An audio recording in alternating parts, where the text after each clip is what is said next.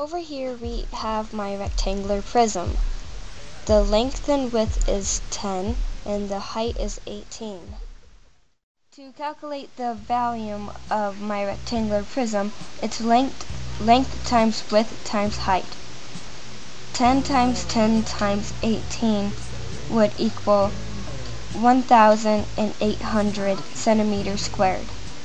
Or 1,800 centimeters squared, it would be the same thing.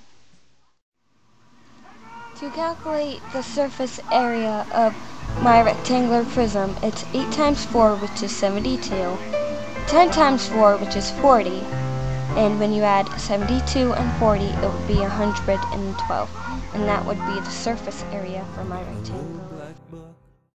As for my diamond, it is technically a rectangular prism, but in my project, it's more of a diamond than the other rectangular prism I have. The width would be 4, the length and height would be 6, I believe. The volume of my diamond would be 6 times 4 times 6, which would be 144. The material cost of my rectangular prism would be $5.76. The material cost for my diamond would be $5.52.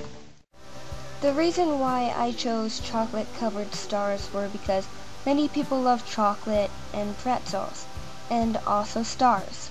So why not chocolate covered stars? The box is colorful and eye-popping, and it's fun to eat. The difficulties were the packaging, and the cost, and also the temperature, because the box shouldn't be too hot because the pretzels would melt, or the chocolate covering the pretzels would melt, same difference. My product needs to be kept cold, but not too cold, or it would didn't taste as well as it should. I think the problem with designing my box was I put Pac-Man in there.